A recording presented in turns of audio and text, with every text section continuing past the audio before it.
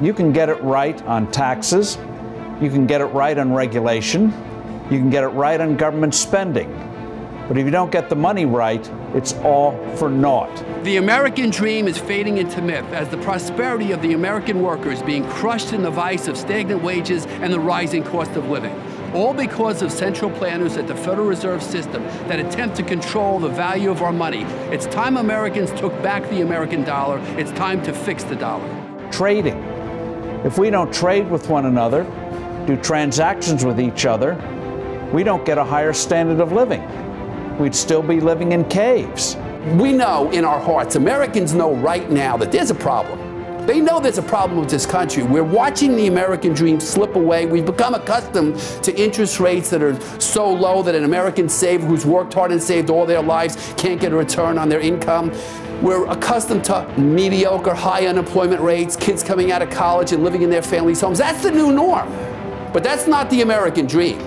In the 40 years that we have been off a gold standard, our average growth rate is less than it was the previous 180 years that we're on a gold standard. If we had maintained gold standard growth rates, do you realize the American economy today would be 50% larger than it is now? Ponder that. $8 trillion bigger. Life would be a lot better. President Obama says the rich are getting richer and the poor are getting poorer. He blames capitalism. The rich are getting richer, and the middle class is getting squeezed. And the quality of life that many of us in this room have been accustomed to is diminishing. Not because of free market capitalism, but because of the failed policies of the Federal Reserve Bank that is debasing the American dollar, the very cornerstone of our economy. We have a Federal Reserve Bank that prints money out of thin air, out of nowhere. When people stop trusting money, they stop trusting each other. It undermines social cohesion, undermines the moral order. Lenin was right. Not one in a million will understand it when you debauch the currency. Locke was right.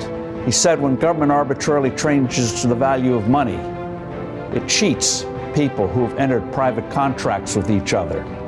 Some may get a gain, some may get a loss, but only everyone loses. You saw it in the housing bubble, which we never would have had if the dollar hadn't been undermined. Without control of your savings, you don't control your liberty. Without control of your money, you don't control the value of your wages and your labor.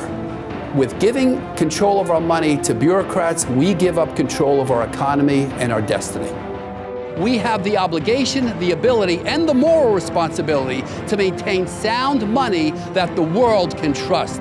As Emma Lazarus' great poem on the Statue of Liberty states, let us lift our torch beside the golden door. Let's make American money once again as good as gold. Join this great effort at American Principles in Action as we fix the dollar.